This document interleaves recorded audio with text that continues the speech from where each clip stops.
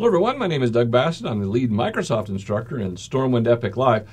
And one of the things I really like about our classes is the ability to go in there and dig around in the interface. And of course, I'm talking about all the 900 billion demos that we do in class. We're able to go in and show you how to make stuff and break stuff, sometimes accidentally, and then go in and fix it.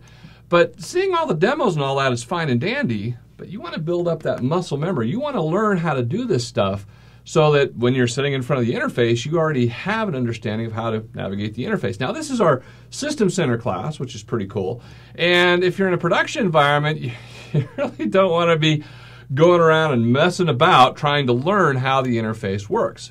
Well, inside of our hands-on labs, you have access to live equipment. We're not talking flash simulations. We're not talking about any of that stuff.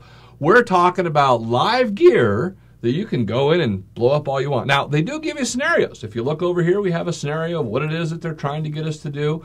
And we can pull it down and we say, oh, I want to validate a default this, or I want to secure data activity that. We can pull down the lab manual in a PDF file, whatever you want to do. But again, it's not labs on rails. It's live gear.